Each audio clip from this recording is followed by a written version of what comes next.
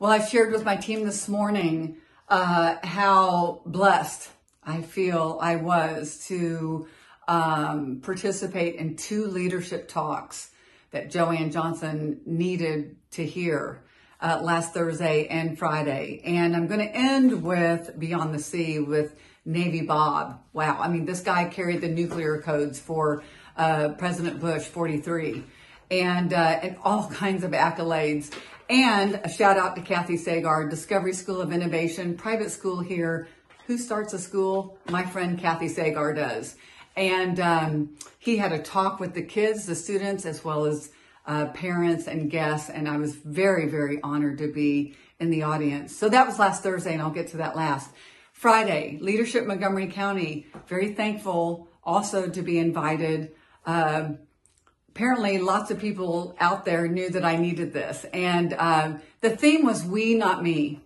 We, Not Me. And we heard from uh, Coach Grant Cooper at Montgomery High School football coach, Andre Ware, first black quarterback Heisman Trophy winner.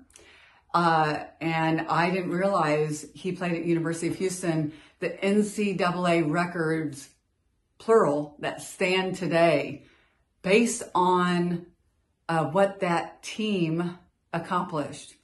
And so I just wanted to share some of this because I shared it with my team this morning. First, reflect on what was the best team that you were a part of and why.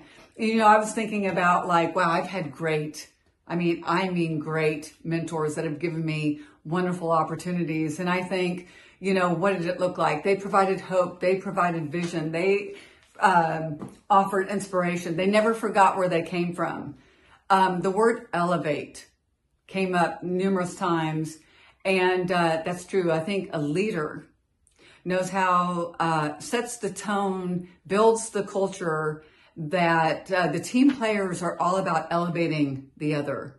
And that starts with leadership. And I could indict myself uh, a number of times of where uh, I'm not following the the mentors, those great mentors, uh, the way that maybe I want to or should. So um, no BCD. I love this. No blaming, no complaining, and no defending. And Andre Ware actually built on this. He's not the one that came up. That was Coach Cooper. Um, but Andre Ware was listening to his talk and he said, you know, yeah, so true. So he's the quarterback. And if he threw it perfectly and it was dropped, it was like, hey man, on the sideline, I'm going to do it better next time meaning he could have blamed the receiver, but he took responsibility. And I love that so much.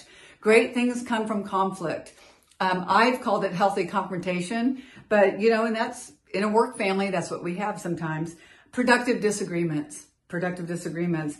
Don't hire talented characters, hire talent with character. Love that.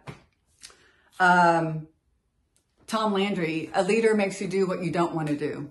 Okay, so, uh, you know, to, we talked about this as a team a couple weeks ago. To enjoy the green time, the rewards, you've got to do the red time. And um, it's not what you preach, it's what you tolerate. So, anyway, I thought these were great nuggets that I just wanted to share. Uh, Navy Bob, I'll end this leadership thing with this. He said, You lead with love.